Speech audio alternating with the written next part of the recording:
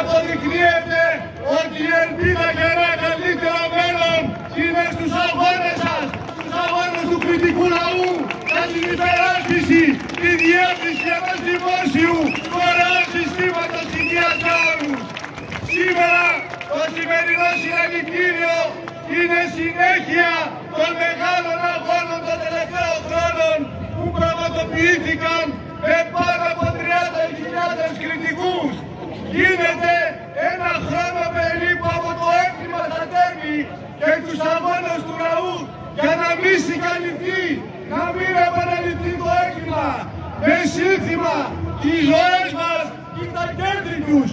Απέδειξε και η σημερινή κινητοποίηση ότι η δύναμη του λαού μας είναι ο κοινός αγώνας απέναντι στους κοινούς αντίπαλους που κοστολογούν τις ζωές μας.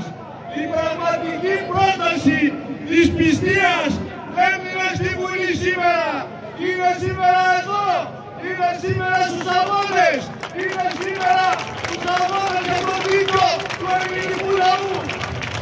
Γίνεται η σημερινή κινητοποίηση αυτές τις μέρες που κουβεντιάζεται στη Βουλή η κατάργηση της πλήρους και αποκλειστικής απασχόλησης των γιατρών, το νέο χαράτσι για κάθε παραπευτικό εξέτασης, τα ιδιωτικά υπογειοτινή χειρουργία, την είσοδο των ασφαλιστικών εταιριών μέσα, στην, μέσα στα νοσοκομεία. Από εδώ η κυβέρνηση της Νέας Δημοκρατίας, το Υπουργείο Υγείας πήρε μια ηχηρή απάντηση. Οι ασυθιώτες δεν θα αφήσουν να παραδοθεί η δημόσια υγεία, τα νοσοκομεία, στα κοράκια των ιδιωτικών ομίλων, των tour operators, των ξενοδόχων, να μετατραπούν σε κέντρα υγείας, σε διαπομετιστικά κέντρα. Δεν θα αφήσουν να πει η ζωή τους στο ζύγι του κόσμου όφελους, τέτοιο ζύγι που είχε όλη η Ευρωπαϊκή Ένωση με τα συστήματα υγείας που για αυτό ανατράπηκαν και τα κέρδισαν. Ο κριτικός λαός δεν θέλει να έχει απλά πρόσβαση, απλά κτίρια, απαιτεί ότι δικαιούνται δημόσιες, δωρεάν παροχές για όλο το λαό. Οι μαχόμενοι υγειονομικοί από την πλευρά μας και από το Ηράκλειο και σε όλη την Ελλάδα απαντάμε.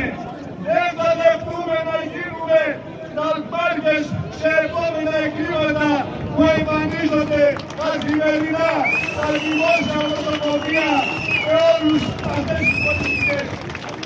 Σήμερα λέμε δείτε ότι έχετε δίκιο να μην εμπιστεύετε όλους εκείνους που στα λόγια εκφράζουν εργολόγια για τη δημόσια υγεία αλλά την ίδια ώρα σκάβουν τον λάθο.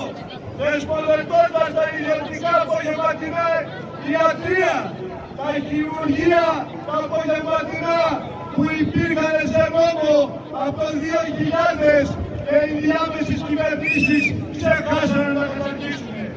Σήμερα οι νασιδιώτες και όλοι οι κοντικριτικός λαός δεν δίνει συμβολοκάρτη ούτε εμποχή στους νεκροτάφτες της υγείας που γιατροπολεύουν τα κέρδη στα κέρδη τους. Δεν επιλέγουμε αν η περικοπή αυτή γίνει είτε αυτοτελώς είτε γίνει μέσα από τα ασφαλιστικά ταμεία. Γνωρίζουμε ότι εσείς εδώ ότι οι παρεμβάσεις αυτής στον υγειονομικό χάρτη της περιοχής ξεκίνησε από το 2012 αυτή η κουβέντα. Δεν είναι σημερινή και βρίσκουν ευκαιρία κάθε τι και λίγο ορισμένοι παράγοντες τοπικοί και κεντρικοί να την ανασκαλεύουν. Αποτελεί βαρβαρότητα και εξαθλίωση να πληρώνεις γρηγορόσημο για να πάρεις τη σειρά του άλλου. Είναι εξαθλίωση να οδηγούνται οι υγειονομικοί με προτοπή της κυβέρνησης να κοιτάνε στην τσέπη οι υγειονομικοί τους ανθρώπους και όχι με βάση την υγεία τους. Σήμερα είναι κινησμός οι δηλώσεις του Γεωργιάδη και της κυβέρνησης ότι δεν χρειάζονται όπως το Ρασίδι τα νοσοκομεία να έχουν όλες τις βασικές ειδικότητες.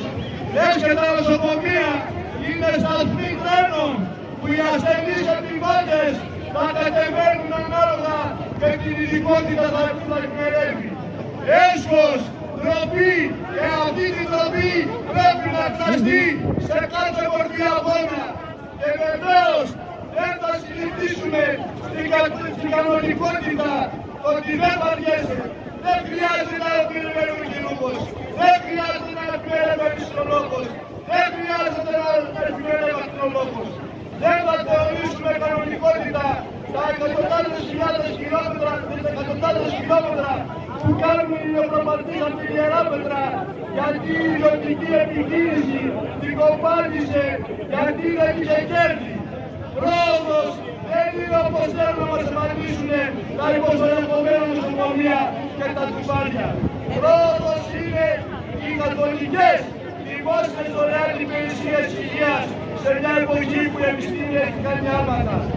Καταλαβαίνουμε στην άλλη και φίλοι ότι η πραγματική αντιπολίτευση είναι εδώ και ας λέει η κυβέρνηση και τα παπαγαλάκια ότι έκτος 41%. Πρώτα και κύρια, σήμερα εδώ δείχνουμε ότι η κυβέρνηση, η πολιτική της είναι απομονωμένη. Είμαστε πολύ αγαπητοί φίλοι και φίλες. Γι' αυτό σήμερα εδώ, από αυτό το βήμα, καλούμε όλους να διεκδικήσουμε ένα αποκλειστικά δημόσιο δωρεάν σύστημα υγείας. Γιατί όταν η αδικία γίνεται νόμος, η αντίσταση, η αντεπίθεση είναι μονόδρομος. Όλοι και όλες θα δώσουμε συνέχεια στην πανελλαδική απεργία στις 5 του Μάη, στις 17 του Απρίλη και βεβαίως λέμε στον κύριο Γεωργιάδη μην τολμήσει να φανεί respiraremos fazer.